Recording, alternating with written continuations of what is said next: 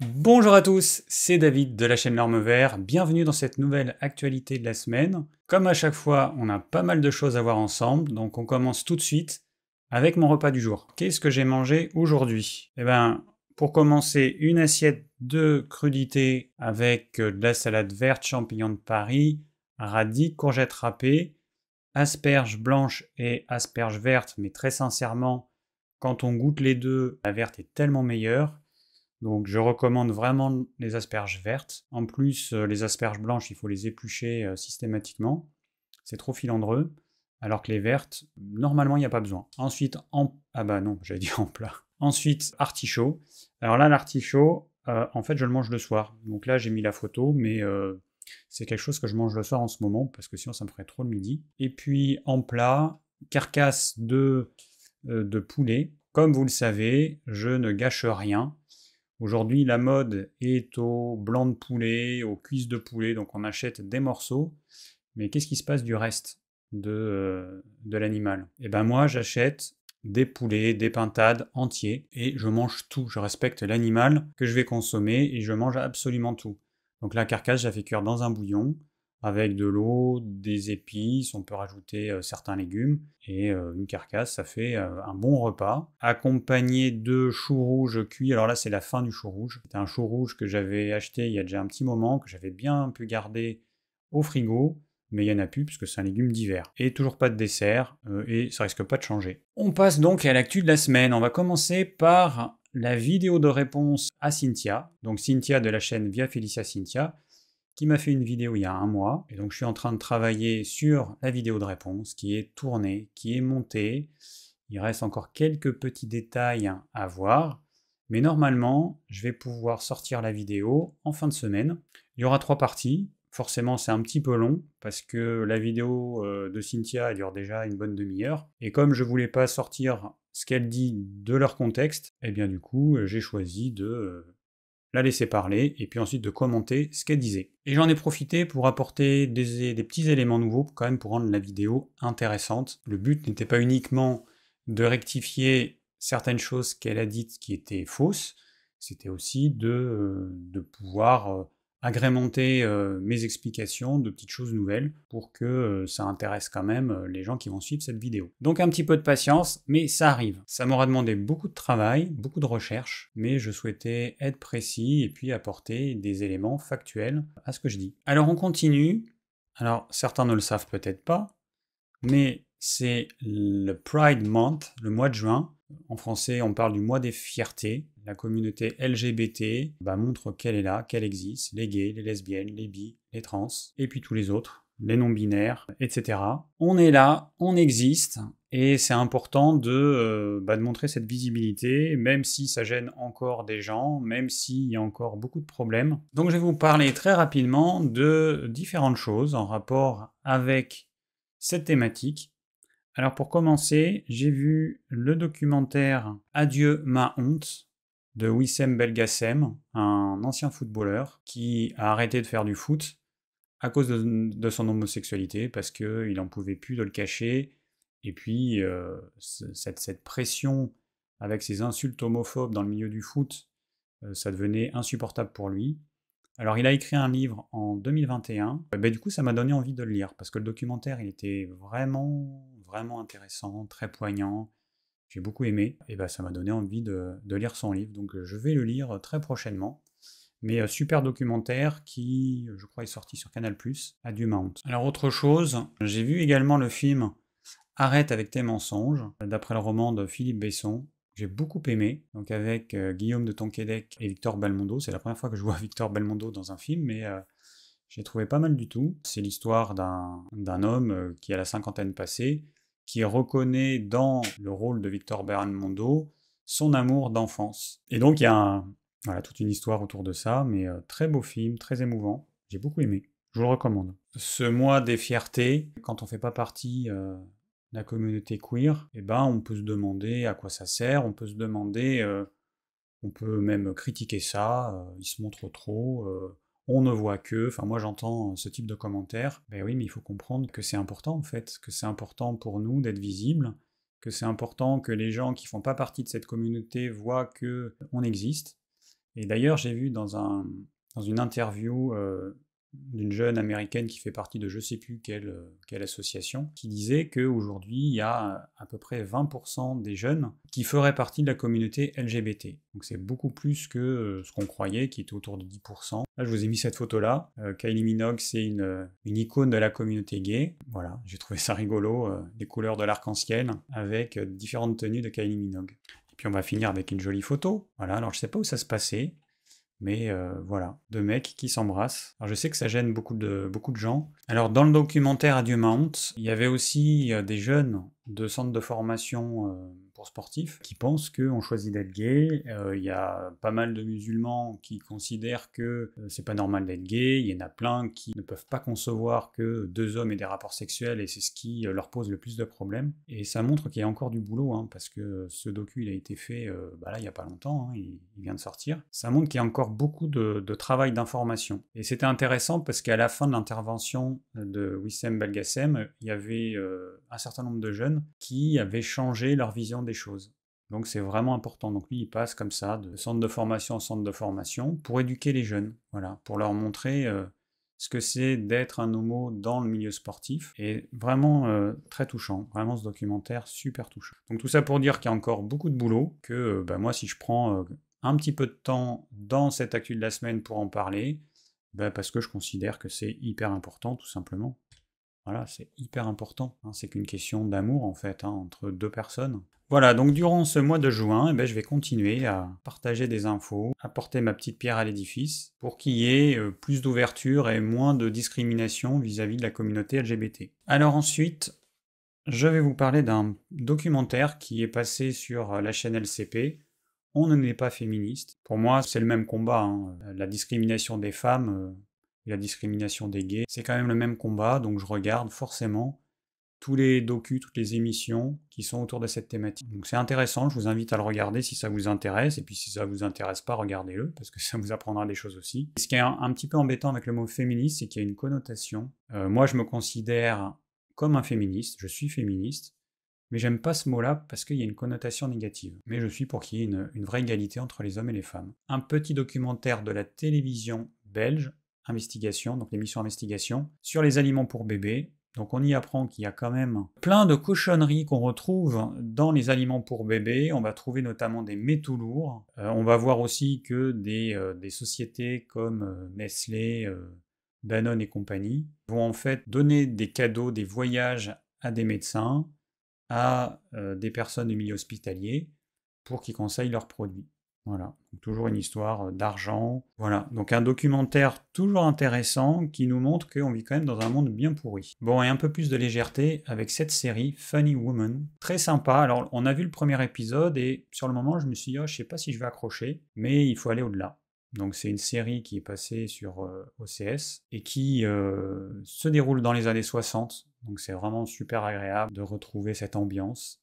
Très sympa. C'est l'histoire d'une jeune femme qui a été Miss Blackpool, une ville en, Angleterre, et qui euh, n'a pas envie d'être la potiche euh, d'un mec euh, dans une petite ville de province d'Angleterre, et qui aimerait devenir comédienne et tourner notamment dans des comédies. Sauf que c'est une blonde jolie et que c'est pas le type d'actrice qui joue dans les comédies. Donc c'est compliqué pour elle. C'est une mini-série en six épisodes, mais c'est fait vraiment de façon sympa. Là, on voit euh, toutes les problématiques de la femme. Il y a aussi la problématique du racisme. Série vraiment très sympa. J'espère qu'il y aura une deuxième saison. Alors maintenant, je vais vous parler du livre du docteur Greger. Donc c'est le livre le suivant. Alors j'ai quasiment fini le livre, il m'en manque quelques pages, mais bon, ça aura été un livre quand même assez long, 900 hein, pages à lire, sachant que je fais pas que ça. Mais bon, j'essaie de, lire tous les jours, une demi-heure à une heure suivant les jours. Et puis je lis euh, plusieurs livres en même temps, donc forcément je ne peux pas avancer à 100% sur ce livre-là.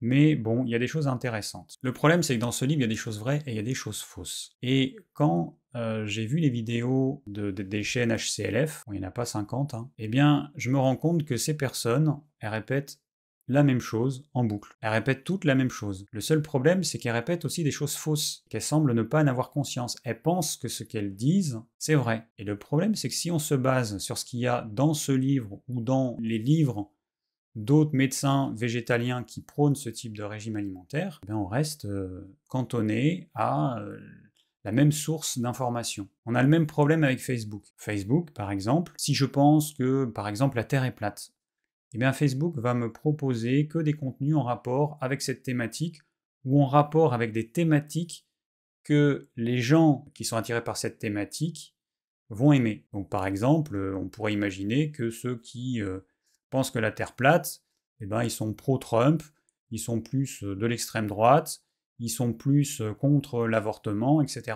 Donc Facebook, il va vous apporter un contenu qui vous conforte dans vos goûts, dans vos opinions. Et les gens qui lisent ce type de livres, ben j'ai l'impression qu'elles font la même chose. Elles vont lire que des livres qui vont aller dans le sens de ce qui est déjà dit dans ce livre. Ça va leur donner l'illusion qu'elles sont dans le vrai parce que il va y avoir une espèce de renforcement de la connaissance, même si elle est erronée, il va y avoir un renforcement de la connaissance lecture après lecture. Moi, j'aimerais que ces personnes soient un peu plus ouvertes et qu'elles aillent vers d'autres types de lectures. Par exemple, lire des livres sur le régime cétogène, lire des livres sur le régime carnivore, lire des livres qui vont apporter des informations contradictoires avec, par exemple, ce qui est dit dans ce livre-là. Que quand on lit ce livre-là, les protéines animales et les acides gras saturés, c'est vraiment nocif, c'est responsable de maladies cardiovasculaires, c'est responsable de cancer, et c'est comme ça. Sauf qu'on sait que les études, aujourd'hui, sont pas d'accord avec ça. Par exemple, le docteur Greger, s'il avait été honnête,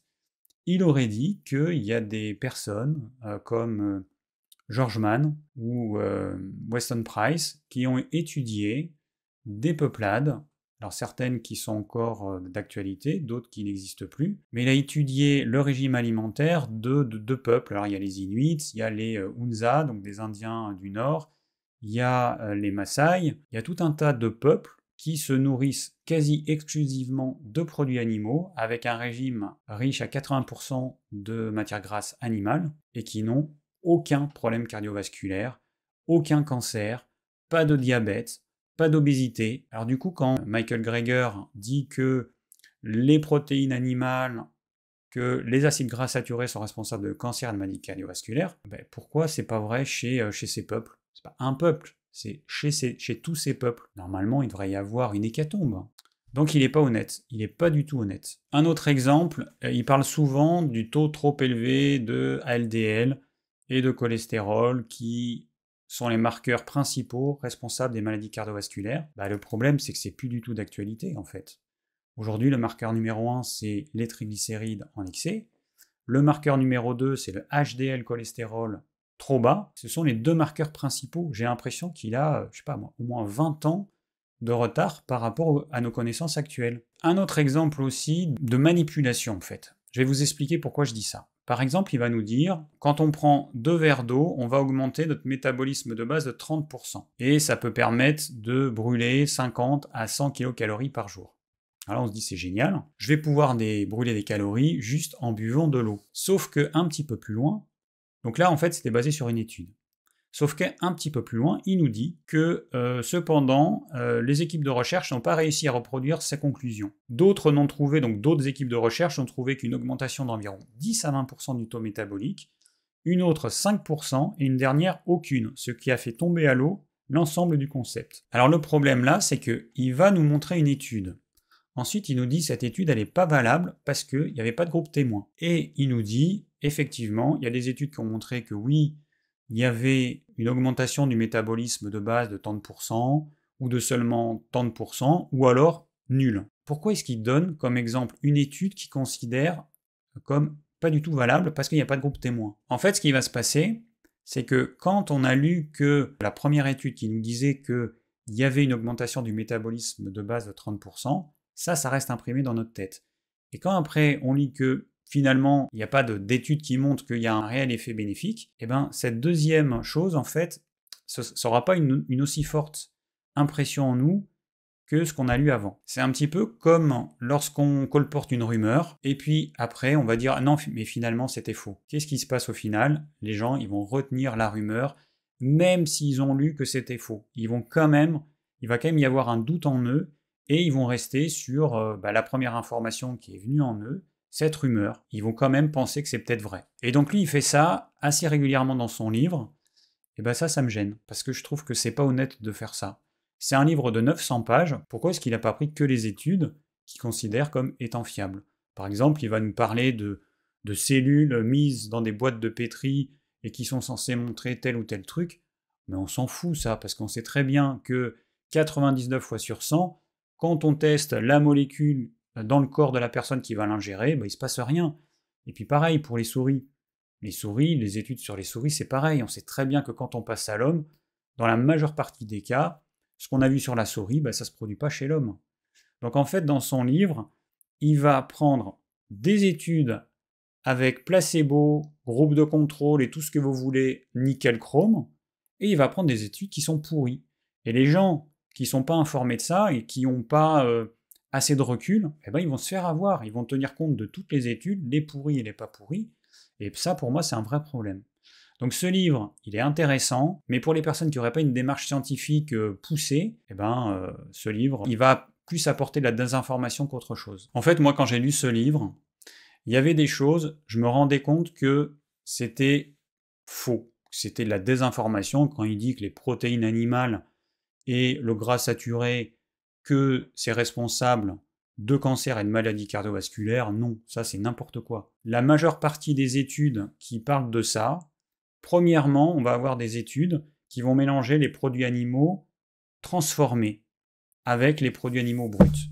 Et aux États-Unis, c'est majoritairement des produits transformés qui mangent. Deuxièmement, on va avoir des études par questionnaire. Donc on va demander aux gens qu'est-ce que vous avez mangé? Et on se rend bien compte que les gens, soit ils vont minimiser certaines choses, soit ils vont augmenter euh, certains trucs parce que bah, on les étudie et puis ils veulent donner une bonne image, même si c'est anonyme. C'est humain. Donc il y a des gens qui vont dire qu'ils consomment plus de légumes, plus de je sais pas quoi, et puis moins de viande par exemple. Et puis il y a des gens qui tout simplement n'ont pas conscience de ce qu'ils consomment. Alors ça, il le dit dans le livre. Il y a des études qui ont montré que par exemple, les personnes obèses ont tendance à sous-estimer la quantité qu'elles mangent. Et quand on euh, fait des études où on vérifie exactement ce qu'ils mangent, eh ben on se rend compte qu'ils ont oublié tous les encas, ils ont oublié plein de choses en fait. Et ce que je viens de dire sur ce livre, c'est valable pour tous les autres livres. Il faut avoir du recul. Et si quand vous lisez un truc, il y a un truc qui vous paraît ou trop gros, ou trop beau, ou si vous avez une petite voix à l'intérieur qui vous dit il y a quelque chose de louche là-dedans, eh ben c'est parce que peut-être qu'effectivement il y a quelque chose de louche. Donc du coup le réflexe, eh ben, ce serait d'aller vérifier. Mais là, il y a plus de 4000 ou 4500 sources. Chaque fois qu'il y a un truc, il y a un petit numéro, et là, je crois qu'il y en a 4500. Vous imaginez s'il faut aller tout vérifier, c'est impossible. Donc voilà pour ce livre. Bah, J'ai pas d'image. Enquête exclusive, livraison à domicile, le balai infernal, là, qui est sorti sur la 6 il y a pas longtemps. Alors ce que j'ai appris, c'est qu'il y a dans des, euh, immeubles d'habitation, des espaces en sous-sol, des pièces de 20 mètres carrés, qui sont louées à des personnes qui vont cuisiner des plats et qui vont les vendre et que vous allez commander euh, sur Uber Eats ou, euh, et, compagnie. C'est ce qu'on appelle les dark kitchens. Voilà, donc c'est bah, dark parce que forcément euh, c'est en sous-sol, donc il n'y a pas de fenêtre. c'est des conditions de travail assez déplorables, avec beaucoup d'avantages financiers pour ceux qui louent l'espace. mais par contre, pour ceux qui cuisinent là-dedans, ils se font exploiter. Et puis il y a un autre truc, je savais même pas que ça existait. Pareil, dans les immeubles, il y a des dark stores, bah, des espèces de petites supérettes en sous-sol, mais c'est pas pour le grand public. C'est pareil, c'est pour la livraison à domicile. Et donc vous faites vos courses euh, sur une appli, sur un site, et euh, il y a des livraisons qui sont faites au niveau local. Donc ils montraient que ces dark kitchens ou ces euh, dark stores, bah, le problème c'est que ça se fait dans des immeubles d'habitation. Vous imaginez les allers-retours des, livreurs en scooter. Vous imaginez aussi les allers-retours des livraisons des camions, dès très tôt le matin. Et puis après, bah, les livreurs, il n'y a pas de toilettes qui sont prévues pour eux. Donc ils vont pisser sur les murs de l'immeuble, ils vont faire leurs besoins derrière une voiture. Enfin bon. Et puis c'est souvent des personnes sans papier, des personnes qui n'ont pas le choix. C'est l'esclavage moderne. Voilà, donc les personnes qui vont commander ce type de repas bah, sans le savoir, elles vont participer à tout ça. Voilà, je savais pas que ça existait, ces dark stores. Alors, dark kitchens, j'avais entendu. Les dark, les dark stores, je connaissais pas. Alors, une question qu'on m'a posée euh, dans le commentaire de je sais plus quelle vidéo. On m'a demandé qu'est-ce que tu penses si j'ajoute du bicarbonate à ma sauce tomate? Est-ce que ça me permettra de manger euh, mes pâtes avec cette sauce tomate bicarbonatée Sachant que le bicarbonate va tamponner l'acidité? Alors bon, ma réponse c'est bon, faut arrêter quoi, faut arrêter vos conneries. c'est pas possible ça. Arrêtez de, vouloir faire des, des, des, hacks. Le bicarbonate, déjà, ça va changer le goût. Et puis, ça va vous apporter beaucoup de sodium. Et puis, c'est pas la solution sur le long terme. C'est un produit chimique quand même, le bicarbonate. Vous n'allez pas vous amuser à, vous enfiler du bicarbonate comme ça, juste parce que vous voulez manger des, pâtes à la sauce tomate et que notre physiologie, euh, elle n'a pas prévu ça. Moi, en tout cas, mon conseil, vous faites ce que vous voulez. Mon conseil, c'est bah non, non, on ne fait pas ça. Soit vous en mangez de temps en temps et vous avez conscience que c'est un problème si vous faites ça trop régulièrement, mais si c'est de temps en temps, si c'est ponctuel, c'est pas grave, hein, ça va entraîner une petite indigestion. Petite ou grosse, ça dépend de comment fonctionne votre tube digestif. Bon, c'est pas la mort. Hein. En tout cas, voilà ma réponse à ce type de questions. Alors ensuite, je vais vous parler d'un site que j'ai trouvé par hasard en faisant mes recherches. Bah du coup, je vais, je vais vous partager ce site parce que ça peut vous intéresser. Je ne connaissais pas du tout. Alors c'est un peu spécial parce que c'est uniquement des documents PDF que vous allez partager. Donc c'est plusieurs personnes qui, euh, qui, ont rédigé ces documents. Donc euh, bah, vous téléchargez par exemple un truc sur le glucose. Voilà, vous cliquez là et euh, ça va vous le télécharger. Et en fait, c'est pas mal du tout, hein. franchement, ils expliquent tout bien. J'ai trouvé ça pas mal du tout. Donc, si ça vous intéresse d'en savoir plus sur, alors là, c'est un document sur la glycémie, les triglycérides et tout ça, eh ben écoutez, allez-y parce que je trouve ça quand même complet, bien expliqué. Alors il peut y avoir des erreurs évidemment, hein, euh, comme toujours. Il peut y avoir des imprécisions, mais euh, ça me paraît euh, bien fait, franchement. Voilà, donc vous avez des documents pour un petit peu tout en fait. Voilà, tous les domaines. Et je trouve ça vraiment sympa. Comme quoi, ça a du bon d'avoir fait toutes ces recherches pour cette vidéo de réponse à Cynthia ça m'a permis de, bah, trouver des, sites d'information vraiment intéressants, vraiment pertinents. Voilà, donc ce qui me semble utile aussi pour vous, bah, je vous le partage.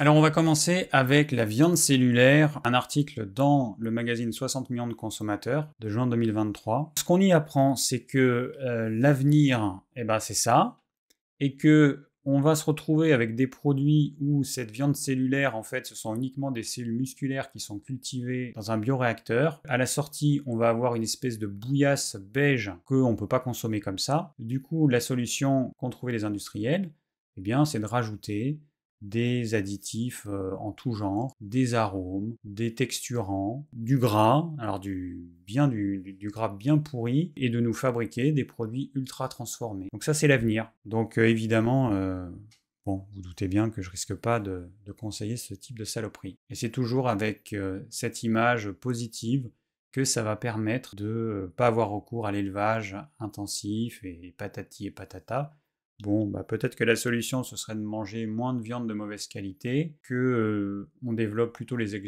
élevages extensifs plutôt que les élevages intensifs, puis qu'on améliore les conditions et d'élevage et d'abattage des animaux. Alors après, il y avait euh, toujours dans le même magazine une étude sur euh, les huiles d'olive, la moitié du panel déclassé, alors soit parce qu'il y a des substances indésirables, soit parce que donc il peut y avoir des produits chimiques, il peut y avoir des plastifiants, par exemple quand on récolte euh, les olives, ben, elles peuvent être mises dans des bâches, après ça peut être stocké dans des fûts en plastique, bon, etc. C'est pas gagné. Hein. Alors après, euh, dans le magazine Vivre Bio, c'est vraiment le type de magazine que j'aime pas du tout, parce que c'est de la pub en fait. C'est une excuse pour proposer de la pub.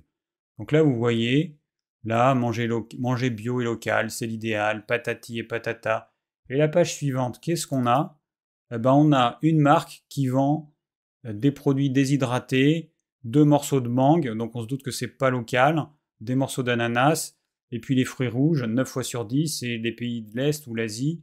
Donc euh, bon, c'est voilà. Donc en fait, ça c'est le type de magazine que je déteste. En fait, le, le but du magazine, c'est de vendre de la pub et de d'écrire des articles pour pouvoir justifier cette pub. Bon, après, ça n'a rien à voir, mais dans un magazine People, on voit euh, Al Pacino, bientôt père pour la quatrième fois, à 83 ans. 83 ans, il va être père. C'est-à-dire que son gamin, quand il aura 10 ans, il y a des chances qu'il soit plus là, Al Pacino. Et puis il est avec une femme de 29 ans, qui euh, était avant avec Mick Jagger et qui a eu un enfant avec lui, à, je sais plus, il avait 73 ans. Autre chose, ça devait être toujours 60 millions de consommateurs. Bon voilà, ça c'est les arnaques du marketing. En mettant euh, des chiffres qui correspondent au taux de satisfaction par exemple des utilisateurs et non pas euh, des chiffres correspondant à l'efficacité, après en mettant des images avant-après qui sont complètement bidons, une belle arnaque. Après on a, alors cancer et vitamine D, bon c'est intéressant de voir qu'il y a des études qui ont montré que la vitamine D dans des doses euh, élevées en fait apporte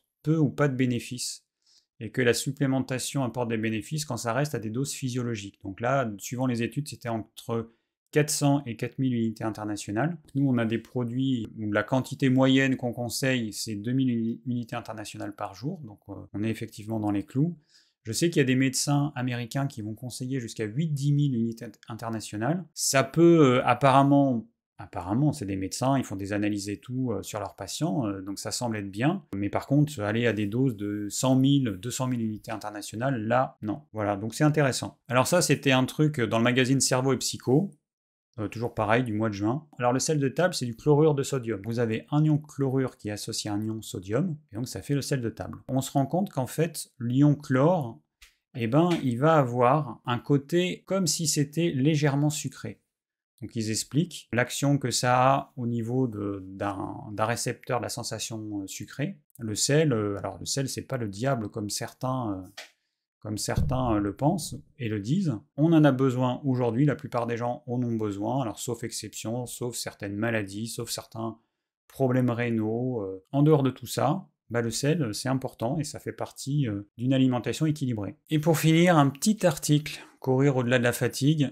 Donc ça aussi, c'était dans euh, Cerveau et Psycho. Alors la photo, elle est pas bonne parce qu'en fait, je prends des photos, moi je lis les magazines sur ma tablette, et donc je prends les photos et des fois ça fait des trucs un peu, un peu bizarres. Donc on apprend que eh ben, euh, les personnes qui vont être capables de repousser leurs limites, c'est des personnes qui ont une production de dopamine suffisante. Alors ils ont utilisé des parkinsoniens qui naturellement une production de dopamine qui est euh, très inférieure à la normale, et donc ils se sont rendus compte que, euh, donc on peut dire, dans des tâches d'effort physique, ils produisent des performances très irrégulières parce que la sensation de l'effort fourni et comme déconnectés de la dépense réelle du corps. Et dès qu'ils reprennent leurs médicaments, que le taux de dopamine augmente, et eh bien la sensation d'effort se recouple avec l'effort réel. Voilà, donc après, ils donnent des conseils d'ordre d'hygiène de vie pour avoir suffisamment de dopamine. Alors manger peu de graisse saturée, alors je ne sais pas euh, dans quelle mesure ça a un impact. Euh, bien dormir évidemment, pratiquer le yoga ou la méditation. Alors le yoga, euh, c'est pas une activité de détente, c'est une activité sportive. Hein. Ça, ça m'agace quand les gens y pensent que c'est une activité de détente. Non, il y a à la fin, on a un petit peu de relaxation, mais ça reste une activité sportive. Euh, je vous invite à faire la position du scorpion. Je vous montre à quoi ça ressemble la position du scorpion. Alors je suis content parce que j'arrive à la faire après quelques mois d'efforts. Pour moi, j'arrive pas encore à avoir une courbure aussi prononcé que lui. Mais bon, voilà, donc ça fait partie des positions qu'on apprend à notre cours de yoga. C'est ce qu'on appelle une position inversée. Voilà, donc vous doutez bien que on est quand même loin, loin de la relaxation quand on fait une position comme ça. Voilà, c'est tout pour cette actu de la semaine. J'espère que ça vous a plu. Si vous avez des commentaires ou des questions, n'hésitez pas. Et je vous dis à très vite pour une nouvelle vidéo.